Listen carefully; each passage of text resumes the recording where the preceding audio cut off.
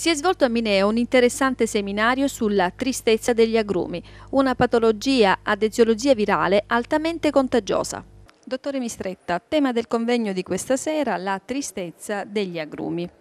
Ma la tristezza degli agrumi chiaramente non è uno stato d'animo, ma è semplicemente una malattia di origine virale, fortemente epidemica, eh, il cui vettore è l'afide sostanzialmente, che ha distrutto interi patrimoni agrumicoli. Eh, nel mondo si parla di più di 80 milioni di piante di agrumi. Non è una novità perché in Argentina e in Brasile l'epidemia è scoppiata negli anni 30 quindi parliamo di parecchi anni fa, in Spagna la prima epidemia nel 1957, la Spagna che è molto vicina a noi come condizioni climatiche, ambientali, pensate l'intero patrimonio agrumicolo spagnolo è stato innestato su Rangiamaro e è andato distrutto, 40 milioni di piante di agrumi. Eh, già in Italia il problema si conosceva e abbiamo dei ritardi enormi nell'affrontare questa patologia, tanto è vero che proprio gli illustri professori di questa sera, tra cui il professore Davino ma anche il professore Catara, nel 2001 parlarono di focolai importanti in Italia e in Sicilia. Quindi il ritardo che noi, il gap che dobbiamo ovviamente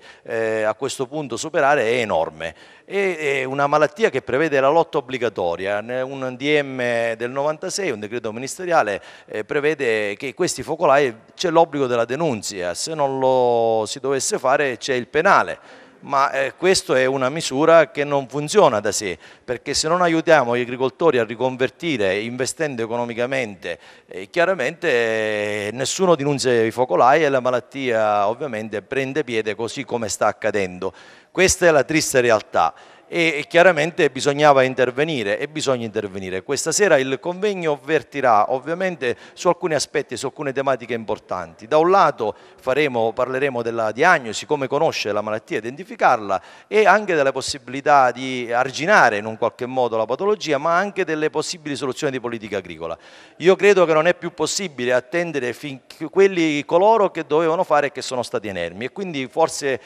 quando già è tutto conclamato è il territorio che deve fare da sé, come al solito, e quindi io propongo sicuramente una cosa importantissima, cioè il coordinamento delle aree agrumetate, dei sindaci, degli enti locali, a partire ovviamente dai, dai comuni della provincia di Catania e di Siracusa, che sono le due province più agrumetate d'Italia,